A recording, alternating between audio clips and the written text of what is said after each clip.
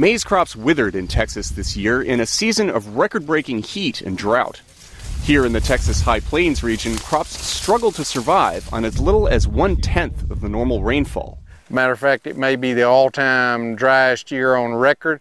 Uh, Thomas Marek is an irrigation expert with Texas A&M University.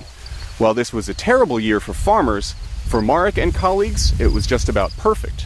At this research station, an hour north of Amarillo, they are working to prepare farmers for hotter, drier years ahead. Wenwei Xu leads the team's maize breeding efforts. It's going to become more and more important because uh, climate change, the cold place getting colder, warm place getting hotter.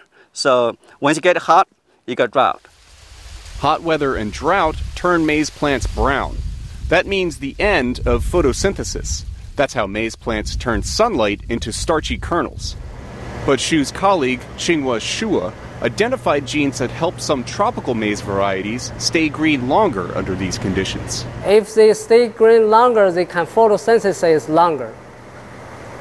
Once they photosynthesize longer, they can fill their grain with longer time. Plants that stay green longer produce bigger kernels in a drought year. The team mated maize with the stay green genes with other high producing varieties to find offspring with the best of both. They use traditional breeding rather than genetic engineering, which is more heavily regulated.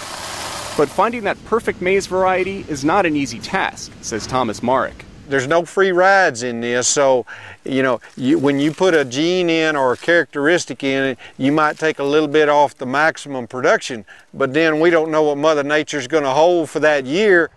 This year, when Mother Nature was not kind to conventional maize, stay green varieties produced bigger ears with more kernels than those without the trait.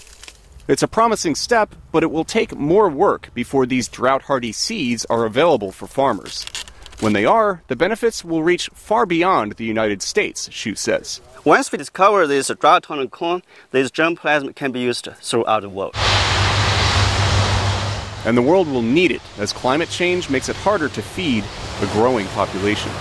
Steve Baragona, VOA News, Etter, Texas.